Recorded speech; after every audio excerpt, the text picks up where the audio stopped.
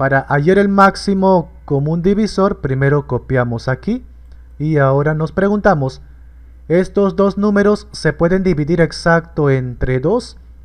Eh, no, ¿verdad? 42 sí se puede porque termina en cifra par, pero 39 no termina en cifra par. Por eso esto no se puede entre 2, así que 39 lo malogró.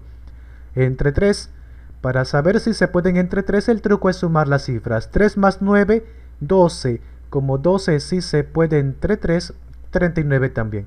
Acá igual. Y sí se puede. 39 entonces entre 3 queda 13, 42 entre 3 es 14. Ahora, ¿todavía se podrán entre 3? Ya no.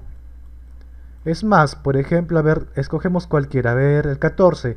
14 entre qué números de abajo se puede dividir? Solo entre 2 y entre 7. Y justo como el otro, o sea el 13, no se puede dividir entre ninguno de esos dos números, significa que todo termina ahí. Y la respuesta, lo que está a este lado, sea 3.